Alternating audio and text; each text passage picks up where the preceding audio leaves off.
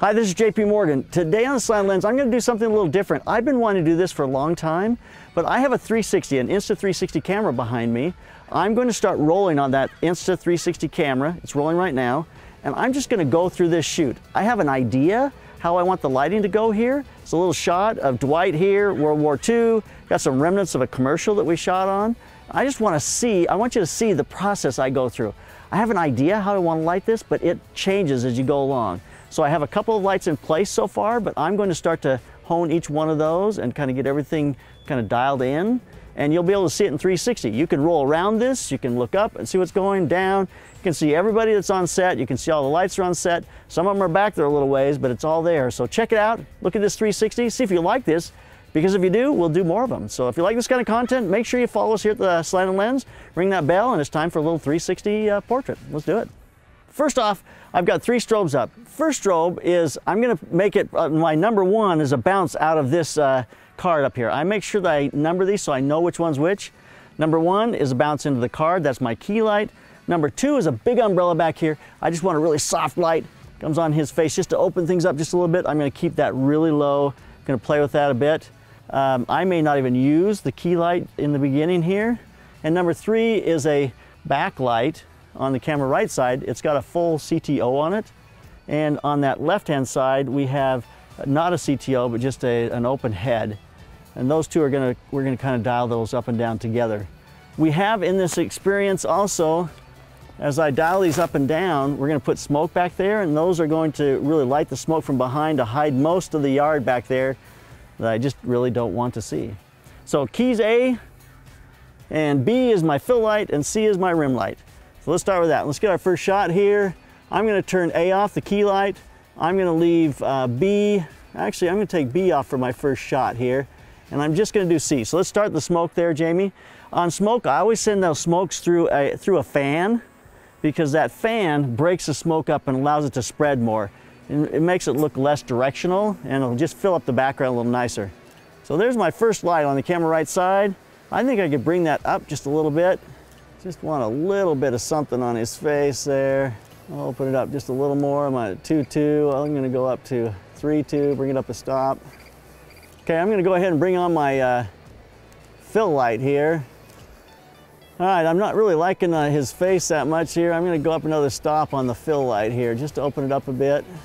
It's starting to be an interesting look. I got the little bounce light in the front here. It's kind of coming from underneath.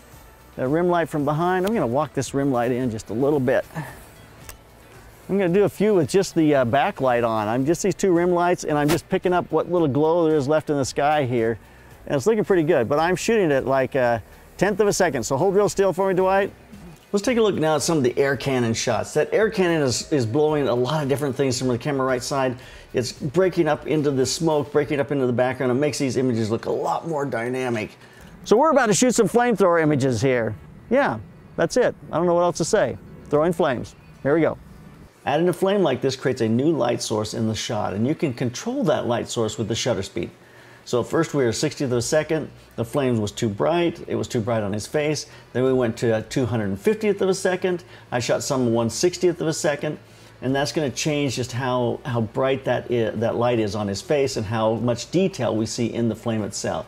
So it's a little bit tricky, you gotta balance that out so you make sure you get enough detail in the flame and it gives you a little bit of light on his face but it's a lot of fun to work with. A little flamethrower there.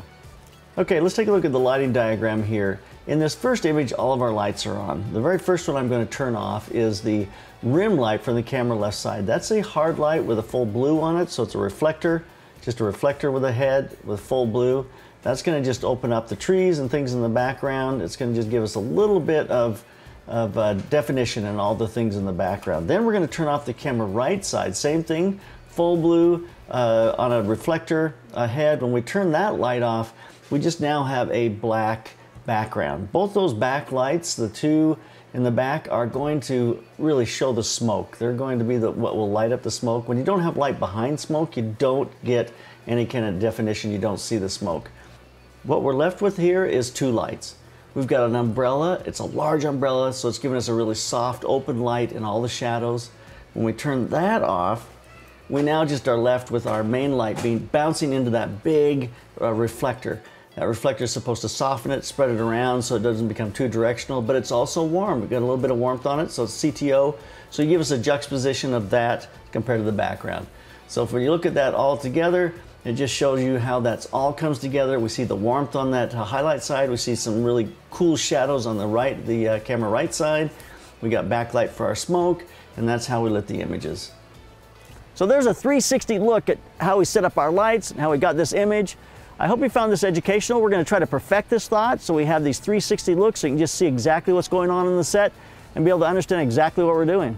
So I hope you enjoyed this. Make sure you subscribe here at the Slanted Lens and keep those cameras rolling. Keep on clicking.